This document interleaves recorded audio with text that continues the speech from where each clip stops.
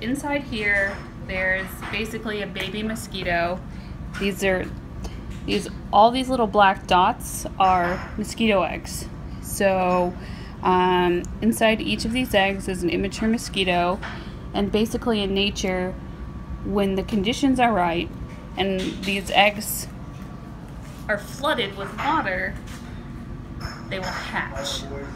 The aquatic stage uh, will hatch, and the, the larval stage will um, remain in the environment for, depending on the environmental temperatures, it could be uh, five to seven days. It could be even shorter if it's warmer, and then it'll pupate, so it'll change into uh, a life form that's no longer eating any food, and that's where it's gonna develop most of its adult characteristics, and then um, once it's spent enough time in that life stage, an adult will actually emerge as you think of um, you can think of it's the same type of life cycle that a butterfly has. So you can think of a butterfly emerging from a chrysalis. The same thing happens with a mosquito emerging from a pupa.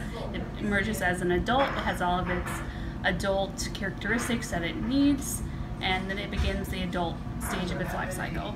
These eggs came from um, mosquitoes that we have in colony here, and so we have hundreds of mosquitoes within a cage that we uh, provide blood to to get their eggs from, to be able to do research on them, to find better ways to control them.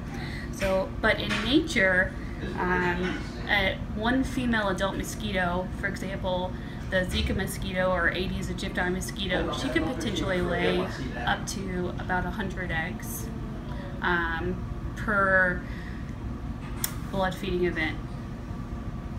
Well, this is the wet laboratory uh, for the research department of, the biology department. And what the girls here are doing is pulling out mosquito larvae, separating the pupae, which are almost ready to emerge as adults, from the earlier um, stage larvae that will emerge as adults several days from now. what we'll do is these uh, these pupae are being pulled out so that they are isolated. So we know how old they are. So we know specifically how old they are. The adults are for when we want to do research on um, chemical trial for chemical efficacy purposes or resistance trials. We need to know exactly how old each mosquito is. Then we put this cup inside of one of those square cages behind you. This one is a larva, the long wiggly ones you can see in the water. And then the pupa are the round ones kind of bouncing in there. So they're like the teenagers, they're almost adult mosquitoes. Uh, everyone's going to want to know how do you feed your colony mosquitoes blood? Is is it like an employee that came in late for work?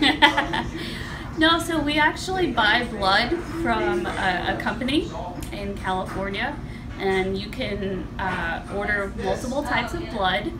Um, uh, we order cow's blood, and it is shipped to us whenever we need it. And it's shipped overnight, so when we get it, we have to keep it in the refrigerator. And then what we do is we just uh, get some cotton balls, soak the cotton balls in the blood, wrap them up in parafilm, which is similar to plastic wrap, uh, and then we will warm up the blood ball so that it's at a temperature that's similar to what uh, a host is um, that a mosquito would be attracted to when it's wanting to blood feed from that host, such as a human or a cow. Um, and then we just hang the blood ball in the mosquito cage and the mosquitoes will just kind of all congregate and blood feed.